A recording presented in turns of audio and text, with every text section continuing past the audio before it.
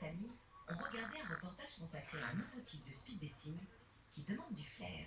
Mais non, on organise une pheromone party. Grâce à l'odeur du t-shirt, on peut savoir si on est compatible avec la personne qui l'a porté. Pheromone party Tu sens les petits bras Pichou.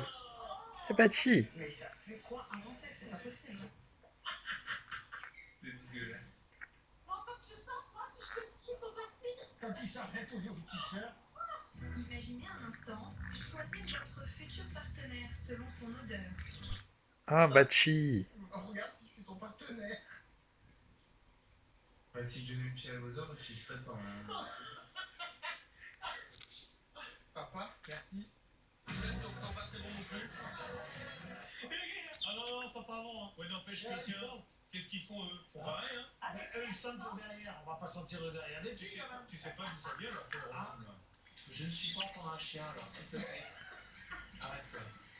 Ah, Bachi, tu me griffes le visage. Une jeune célibataire de 25 ans se prépare pour sa première phéromone party.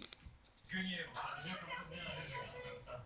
La pauvre fille, elle s'appelle Guenièvre. Une seule règle pour participer, dormir trois nuits de suite avec le même t-shirt Et ensuite, le mettre